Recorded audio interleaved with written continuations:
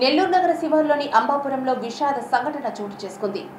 భార్యాభర్తల మధ్య గొడవల వల్ల రెండు నిండు ప్రాణాలు గాలిలో కలిసిపోయాయి. తన భార్య ప్రవర్తన సరిగా లేదంటూ పలుమార్లు హెచ్చరికలు చేసినా కూడా ఆమెలో మార్పు రాలేదని మనస్తాపానికి గురైన భర్త తన ఇద్దరు కుమారులతో నేలబావి వద్దకు వెళ్ళి ఆత్మహత్య చేసుకున్నారు. ఇందులో పెద్ద కుమారుడు తప్పించుకోగా తండ్రి రంగస్వామి చిన్న కుమారుడు ఇద్దరు మృత్యువాత పడ్డారు. ఈ విషాద సంఘటన స్థానికంగా కలకలం రేపుతోంది. నెల్లూరు నగర శివారులోని అంబాపురంలో విషాద సంఘటన చోటు చేసుకుంది. భార్యాభర్తల మధ్య గొడవల వల్ల రెండు నిండు ప్రాణాలు గాలిలో కలిసిపోయాయి. తన భార్య ప్రవర్తన సరిగ్గా లేదంటూ పలుమార్లు హెచ్చరికలు చేసినా కూడా ఆమెలో మార్పు రాలేదని మనస్తాపానికి గురైన భర్త తన ఇద్దరు కుమారులతో నేలబావి వద్దకు వెళ్ళి ఆత్మహత్య చేసుకున్నారు. ఇందులో పెద్ద కుమారుడు తప్పించుకోగా తండ్రి రంగస్వామి చిన్న కుమారుడు ఇద్దరు మృత్యువాత పడ్డారు ఈ విషాద సంఘటన స్థానికంగా கலக்கலம் రేపుతోంది எதுக்காக ஒன்றும் சொல்லலையா நீ கம்முன்னு இருந்தியா அண்ணனை கொண்டுட்டீங்களாடா அண்ணனை கொண்டுட்டீங்களாடா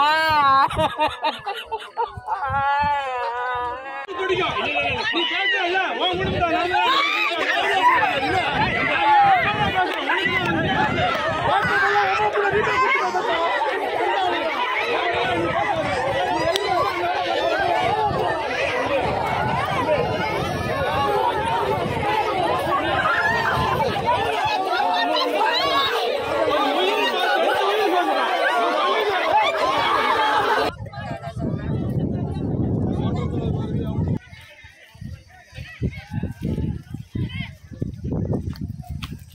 Le dios,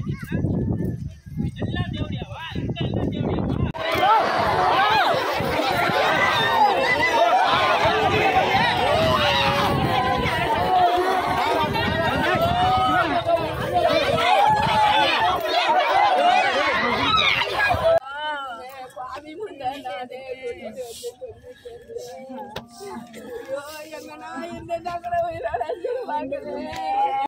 సాగర్ మీకే వచ్చి నేను పోటాలు అయ్యో కంప్లైంట్ అన్ని ఇచ్చానే కంప్లైంట్ ఇప్పుడు చనిపోయినా వచ్చి ఏం నిన్న వచ్చాను వచ్చాను వచ్చాను ఆ, సోమవారం వచ్చాను నేను వాళ్ళే శివ వాళ్ళే ఇప్పుడు చచ్చిపోయారు వాళ్ళే వచ్చి ఇచ్చారు ఆ? వాళ్ళు ఏం చెప్పారు మీకు నేను మా భర్- మా భార్య ఏ- யாரையாவது கூப்பிட்டுருக்க கூடாதா என் பிள்ளைய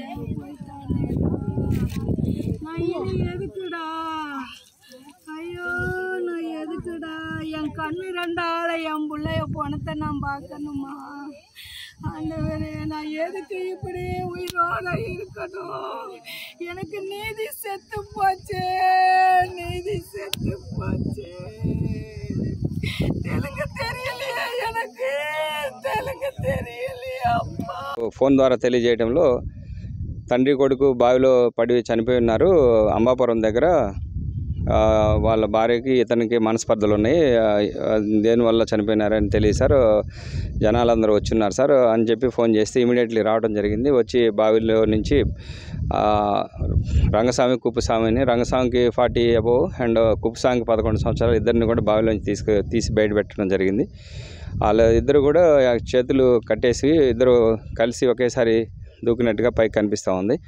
దాని మేరకు వాళ్ళని బయట తీసి ఇప్పుడు వాళ్ళ దగ్గర రిపోర్టు తీసుకోవడం జరిగింది. దాని మేరకు కేసు రిజిస్టర్ చేసి పూర్తి వివరాలు తర్వాత తెలియజేస్తాం.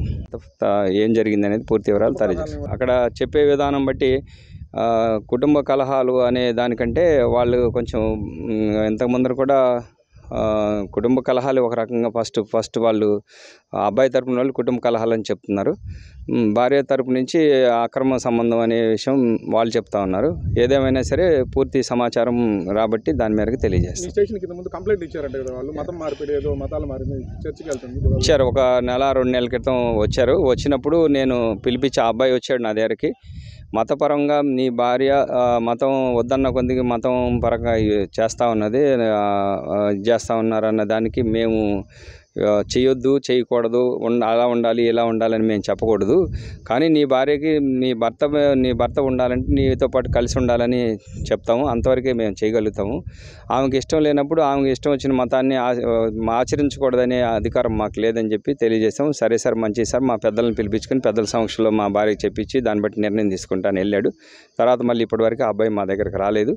నిన్న సాయంత్రం వాళ్ళ భార్య మా దగ్గరకు వచ్చేసి నా మీద ఏమన్నా మిస్సింగ్ కేసు ఏమైనా ఇచ్చారని చెప్పి మా ఎస్ఐ గారిని అడగటం జరిగిందంట. మా ఎస్ఐ గారు మాకేం రిపోర్ట్ లేదని చెప్పేసి రికార్డ్ తిరిగి చెప్పడం జరిగింది.